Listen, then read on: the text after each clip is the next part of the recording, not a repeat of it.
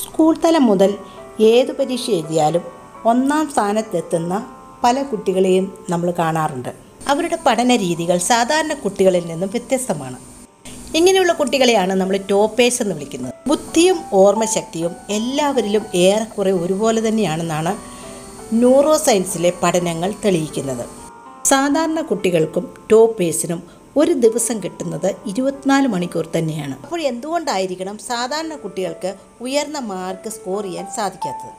സാധാരണ കുട്ടികൾ സമയത്തിന്റെ വില മനസ്സിലാക്കാറില്ല.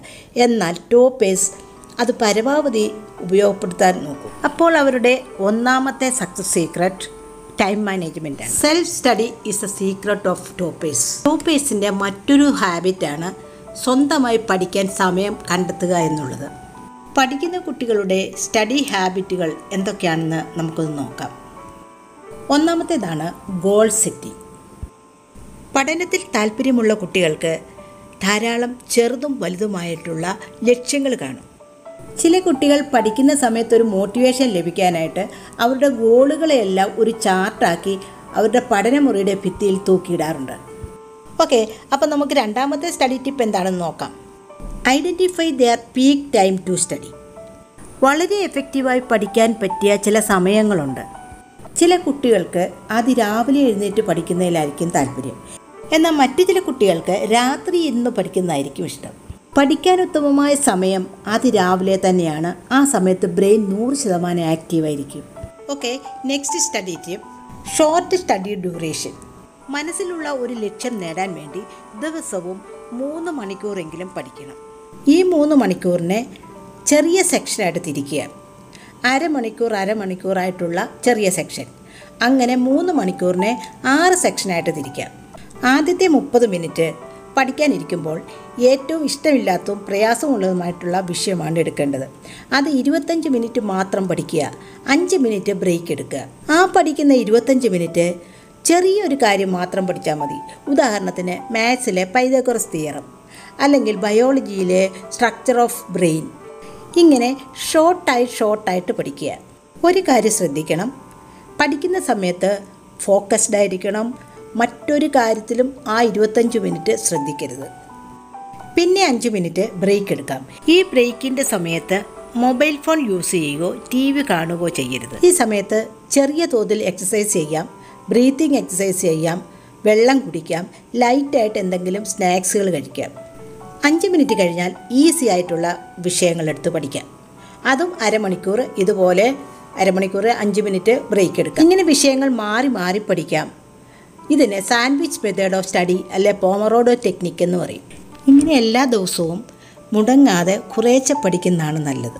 നമ്മളൊരു ചെടിക്ക് വെള്ളം ഒഴിക്കുമ്പോൾ എല്ലാ ദിവസവും ഒഴിക്കുന്നതല്ലേ നല്ലത്? ഒരാഴ്ചത്തെ വെള്ളം മുഴുവൻ ഒരു ദിവസം അങ്ങ് ഒഴിച്ചു കൊടുത്താലോ? ചെടിയുടെ അവസ്ഥ എന്താവും? ടോപ്പേസ് ഉപയോഗിക്കുന്ന നാലാമത്തെ സ്റ്റഡി ടിപ്പാണ് സ്റ്റിക്കിംഗ് ടു സ്റ്റഡി പ്ലാൻ ഒരു സ്റ്റഡി പ്ലാൻ അല്ലെങ്കിൽ ഒരു ടൈം ടേബിൾ തയ്യാറാക്കുകയും അതിനനുസരിച്ച് പഠനം മുന്നോട്ട് കൊണ്ടുപോവുകയും ചെയ്യുക. ഒരു ദിവസം എന്ത് പഠിക്കണം? ഒരാഴ്ച എന്തെല്ലാം പഠിക്കണം? ഒരു മാസം എന്തെല്ലാം പഠിക്കണം? എന്നൊക്കെ ഈ ടൈം ടേബിൾ ഉൾപ്പെടുത്തണം.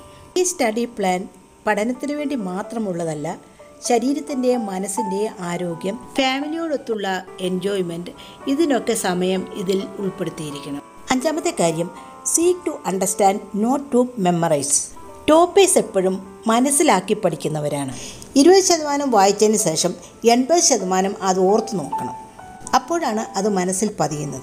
പഠിക്കുന്ന കാര്യങ്ങൾ ഇമേജസ് ആക്കി മാറ്റിയാൽ മാത്രമേ ഉപബോധ മനസ്സ് അത് സ്വീകരിക്കുകയുള്ളൂ. ഉപബോധ മനസ്സാണ് അത് ഓർമ്മയെ നിലനിർത്താൻ നമ്മളെ സഹായിക്കുന്നത്.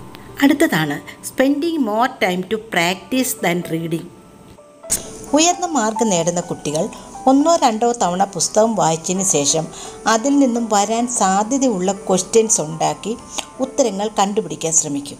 മോക്ക് ടെസ്റ്റുകൾ നടത്തിയും ക്വസ്റ്റ്യൻ പേപ്പേഴ്സ് ആൻസർ ചെയ്തും ഒരു ആക്റ്റീവ് ലേണിങ്ങിലൂടെയാണ് അവർ പഠനം നടത്തുന്നത്. വെറും പുസ്തകം മാത്രം വായിച്ച് പഠിക്കുന്നത് ഒരു പാസീവ് ലേണിംഗ് ആണ്. സാധാരണക്കാരായ കുട്ടികൾ പഠിക്കുന്നത് ഈ പാസീവ് ലേണിങ്ങിലൂടെയാണ് അതുകൊണ്ട് പെട്ടെന്ന് പഠനത്തിൽ മടുപ്പ് തോന്നാൻ കാരണമാണ് ഇരുപത് ശതമാനം വായനയും എൺപത് ശതമാനം വായിച്ച കാര്യങ്ങൾ ഓർക്കുകയുമാണ് വേണ്ടത്. അതുപോലെ മുപ്പത് ശതമാനം വായന എഴുപത് ശതമാനം പ്രാക്ടീസ്. ഈ രണ്ട് രീതികളും സ്വീകരിച്ചാൽ പഠിക്കുന്ന കാര്യങ്ങൾ ഓർമ്മയിൽ കൂടുതൽ നേരം നിലനിൽക്കും. ഏഴാമത്തെ കാര്യം the handle their sleep.